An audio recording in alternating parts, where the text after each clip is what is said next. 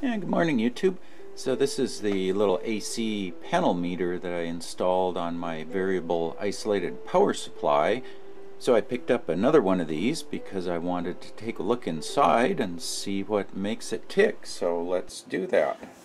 Okay, so this is what you get in the box. You get the meter here. This is their little current transformer. This is the AC power meter.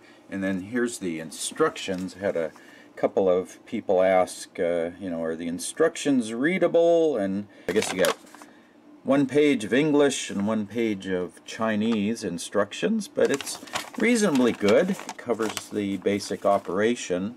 So, if we look at the unit here, again, this is the PZEM-061, and it appears that the Peacefair is the manufacturer.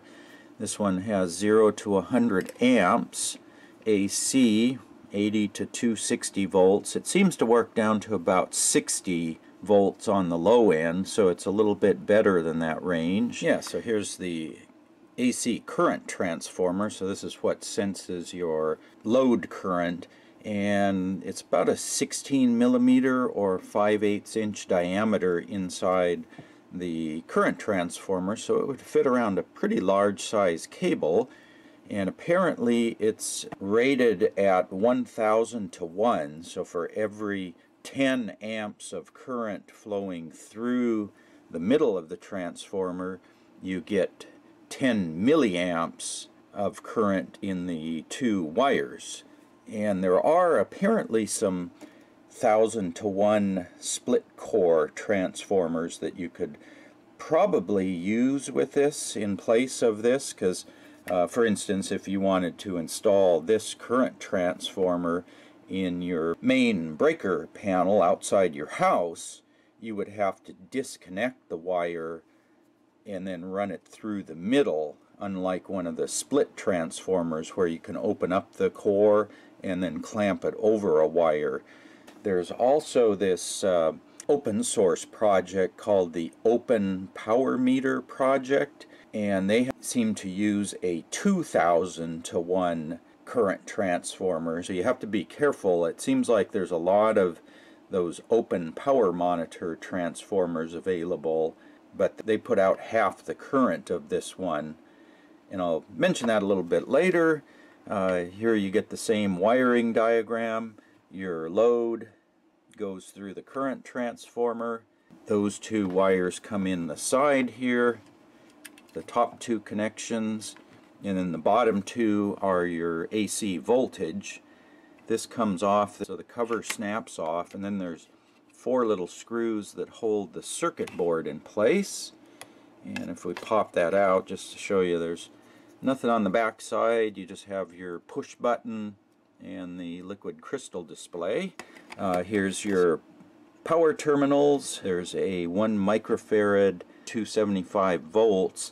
This is your power supply essentially. It's a capacitive dropper and underneath this capacitor there's a bridge rectifier and a little 5 volt regulator for the rest of the digital circuits and then you can see here this uh, large resistor right there.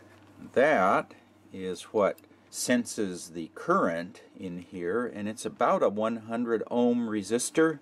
You've got these two wires hooked up across that resistor and since this was a thousand to one so if you have a hundred amps flowing through this CT you're going to have a hundred milliamps flowing through these two wires, you shorted them, or if you put those across that resistor, a 100 ohms with 100 milliamps is 10 volts. So you're going to get 10 volts full scale across that resistor. If you wanted to change this to work with a different transformer, say you had a, a 2000 to 1 transformer, you could change that resistor out, put a 200 ohm resistor, and get the same 10 volt reading with a 50 milliamp input. So let's take a look here at the chips. There's basically three large ICs on here. This is a Renergy or Sunshine Science RN8208G, which is a single phase metering IC. So this takes the voltage waveform and the current waveform and does the uh, power factor calculations and produces the instantaneous voltage, current, and power. And then this is a 3.579 megahertz clock, which forms a real-time clock because this thing needs to know about seconds and minutes and hours because it needs to compute kilowatt hours or watt hours. And I'll put links to the, all of the chips in the video description. And then this is the brains of the unit. This is an ST Micro 32F030. So it's an 8 megahertz microcontroller. That's the crystal for it. Here's your ST-Link four pin, 5 pins, I guess. This is the other chip. This is a Holtek HT1621. It's a RAM mapping 32 by 4 LCD controller. So that's pretty much the inside of the device, just the three ICs, and like I said, there's uh, your power supply AC side over here.